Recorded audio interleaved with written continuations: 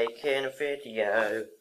I'm walking around the house because I've got nothing better to do.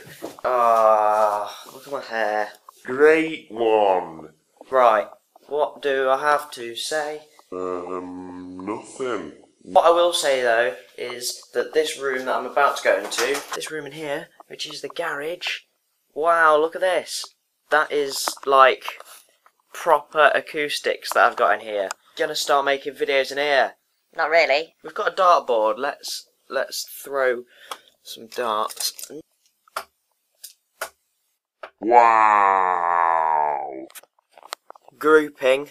Oh yeah. I've not played darts for months. Oh, this is interesting.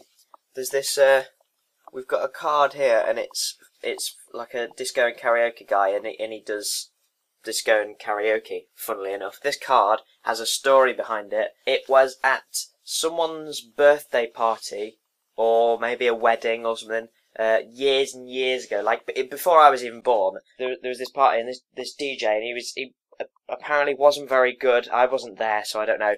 Um, and he and he was giving his cards out to everyone, and um, and my either my mum or my uncle got one. It was hidden in someone's bag, and then they found it the next day. And then basically every time that we go and see them, uh, we we take the card and hide it somewhere in the house. And then once we've left, they they find it again. Like, oh, they've left the card here. And then when they come over here, they'll they'll take the card that we sent to them. And they'll hide it somewhere in our house, and then we'll find it and be like, "Oh, they've left the card here." It it's brilliant.